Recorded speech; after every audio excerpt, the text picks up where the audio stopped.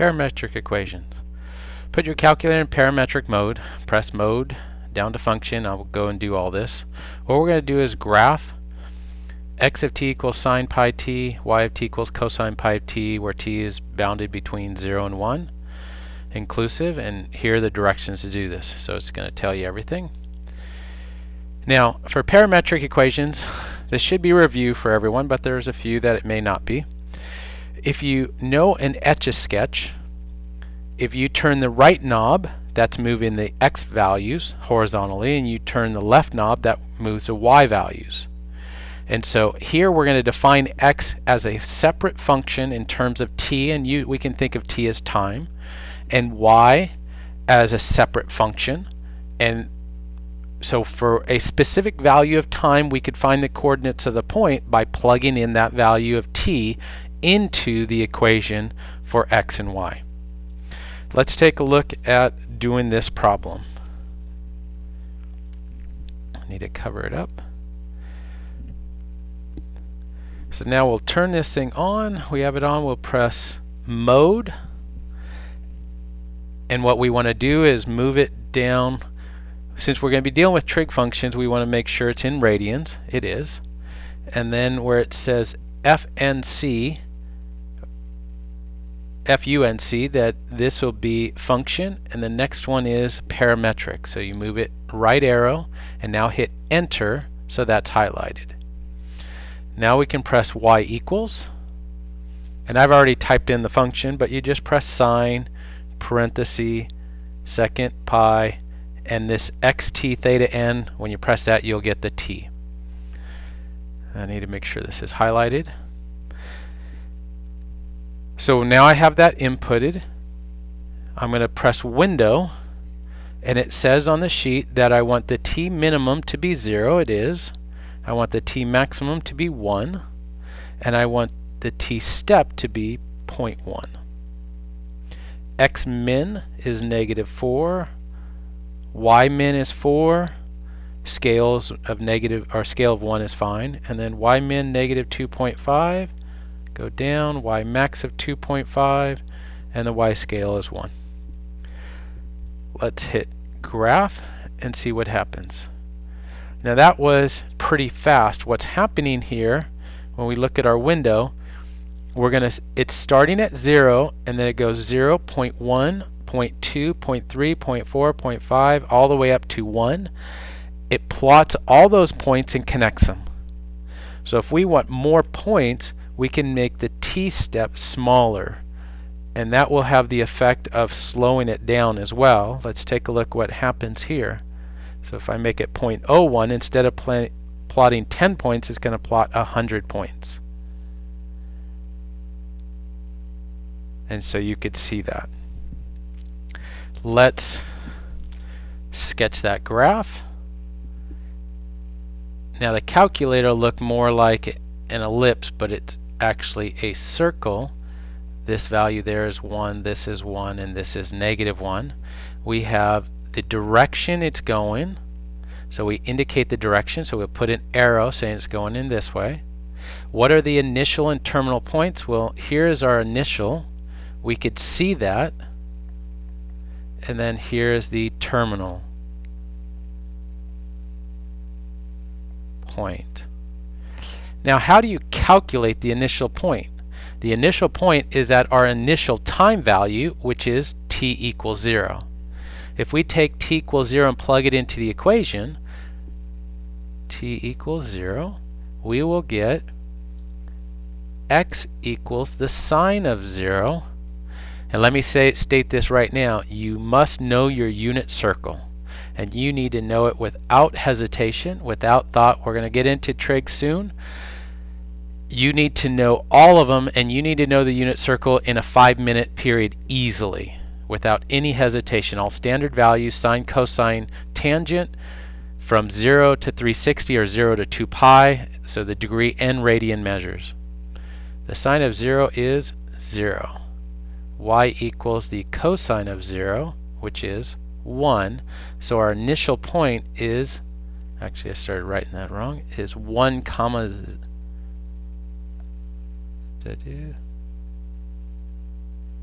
Oh, that's a y value, 0 comma 1. So our initial point is 0, 1. Now we look at our terminal point, and that was at our final time period, or time value. So t equals 1, x equals the sine of pi times 1, which is pi, that is 0. y equals the cosine of pi, which is negative 1. So our terminal value will be 0, comma negative 1. Find a Cartesian equation for a curve that contains a parametrized curve. What part of this equation is the parametrized curve? State the restrictions. Note if the parametric equations are limited, so is a Cartesian. Now, so somehow we need to convert this equation that has t in it, so one that doesn't have any t's.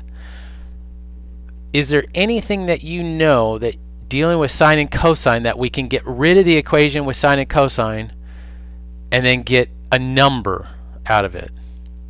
And what should come to mind is the famous Pythagorean identity of sine squared plus cosine squared equals 1. X squared will equal sine squared of pi t y squared equals cosine squared of pi t. If we add these two together, we get x squared plus y squared equals sine squared pi t plus cosine squared pi t. And we know sine squared plus cosine squared of an angle theta is 1. So this equation is actually x squared plus y squared equals 1, but we know it's not the whole circle, it's only the half. So what is the domain of the x values? The, what are the x values here? 0 to 1. And what's the range? What are our y values? Negative 1 to 1. So we're going to state the restriction on there to make that complete. Look at number 2. We're going to do the same thing except in this one, we're going to have a little bit different equation. On your paper, it has 4 sine t. Change that 4 to a 2. So we have a little bit of variance on here. We can go ahead and start off and find out what our initial point is. Let's see, we're going to plug in t equals pi, so we'll have x is 4 times the cosine of pi. That would be 4 times negative 1 or negative 4. And y would be for 2 times the sine of pi, which would be 0.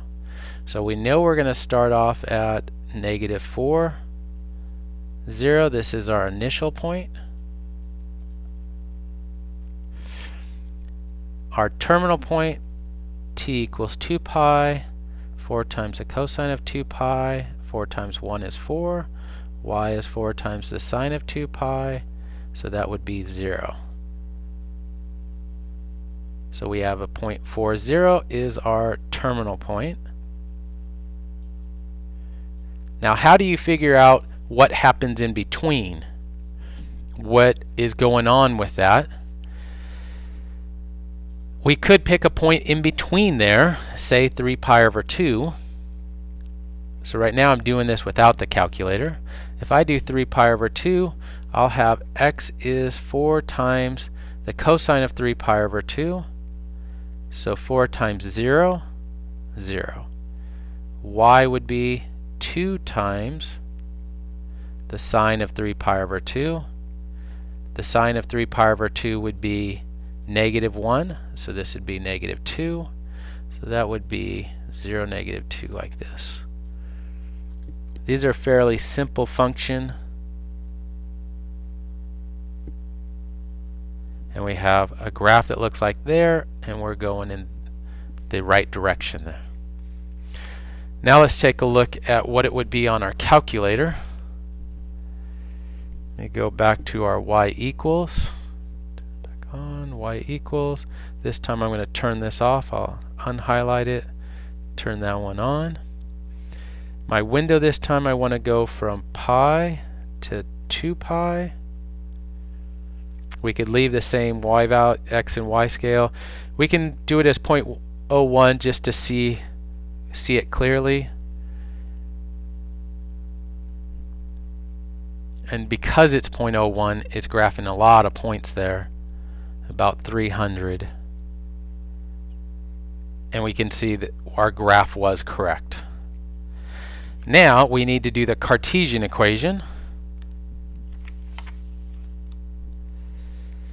How do we go about finding the Cartesian equation? Well, we still have this idea that sine squared plus cosine squared equals 1. So if we look at that this time, we have x squared equals 16 cosine squared t, y squared equals 4 sine squared t. Problem now is if we add those two things together, we're not going to get the exact same coefficient from the cosine squared and sine squared. So what we need to do is make them have the same coefficient. So what could I do to the bottom equation to make it have the same as the top equation? I can multiply it by 4. So I can say, let's say 4y squared equals 16 sine squared. Now if I add these two equations together,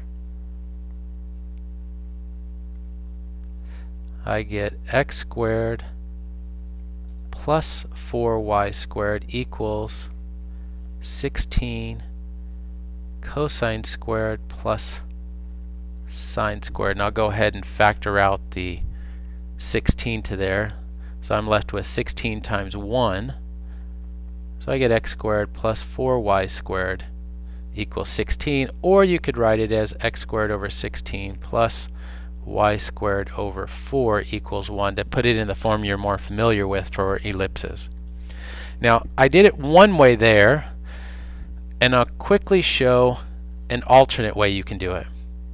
The problem with that we had over here is we had to multiply by 4 because we didn't have just sine and cosine. We could isolate them in this first part and say that it's x over 4 squared is going to be the cosine squared plus y over 2 squared will be our sine squared and we'd be left with x squared over 16 plus y squared over 4 equals 1. Either way is fine, it really doesn't matter. Now, do we want the whole thing there? No. What will be our domain restriction? And I'll just put it up here. The domain will be from negative 4 to 4, and the range will be from 0 to negative 2. Number 3. Draw this line segment. I'm telling you that it's that. We have 0. Plug it in x of 0 will be negative 1 and y of 0 will be 3. So our initial point will be negative 1 comma 3 and then we have x of 1 will be negative 1 plus 4 will be 3 and y of 1 3 minus 5 will be negative 2 so 1, 2, 3, and then negative 2. And we're told that it's a segment. Now it doesn't actually tell us to indicate the direction, but we are going here. This is our initial point, and our final point would be 3 comma negative 2. Find the slope of this. Well, let's take a look at these numbers. This number here would be what?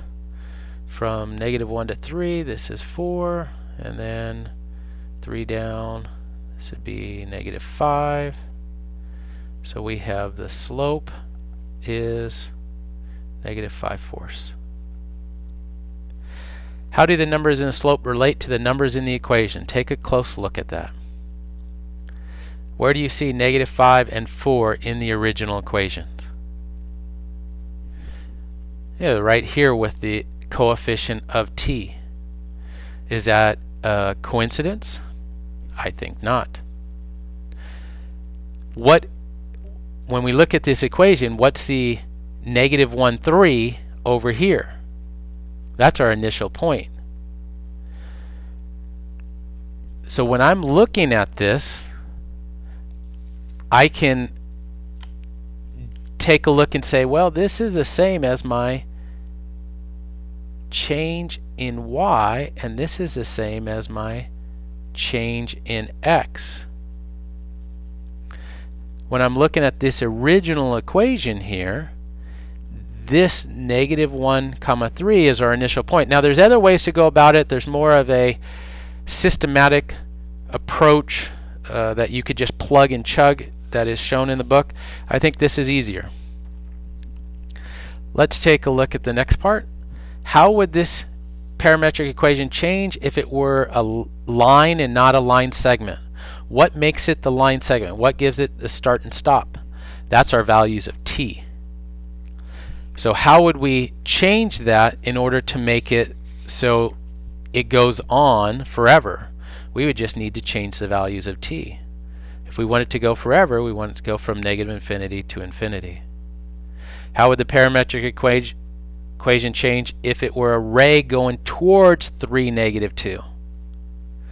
Well, the way we'd have it set up right now, we're starting at 0 at negative 1, 3, and we want to go towards 3, negative 2, and then keep on going from there. So this would say we want to include 0 and then we'll go for our continue going.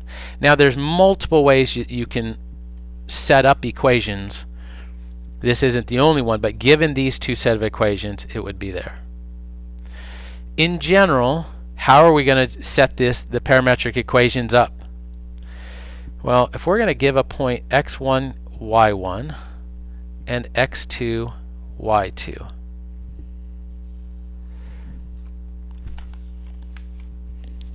comparing it to what we had, you just kind of have this there. We're going to define x of t to be what? We can say x1, because that was our initial x value, plus what is 4 represent? Delta x, so it's a delta xt. y of t will be y1 plus delta yt. Now, we could have set the line up in another way. We could have done, started with the other values. We could have set x equals 3. If we started at this point, in order to get to the other point, we're going to be going in the left direction. So that delta x would now be negative 4. Let me just say plus negative 4 t, and the y would be starting at negative 2, and this time we're going up, so that would be plus 5t.